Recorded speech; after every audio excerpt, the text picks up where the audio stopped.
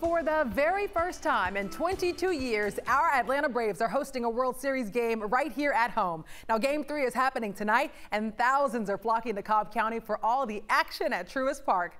Mara Sirianni joins us live from outside Truist Park with a look at how law enforcement is working to keep everyone safe over the next few days. Good morning, Mara.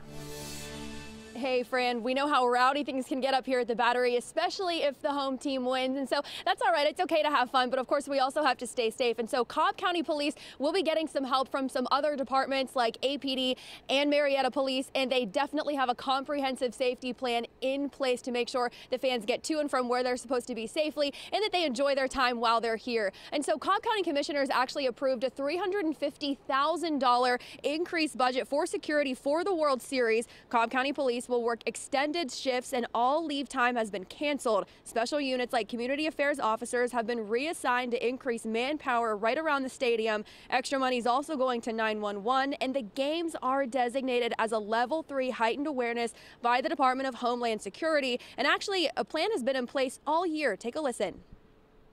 Of course, when uh, the All-Star uh, game or events didn't come to Cobb, uh, we we did not obviously discard that plan. And so to prepare for this World Series, we've been went back and pulled that plan out and, and made some revisions.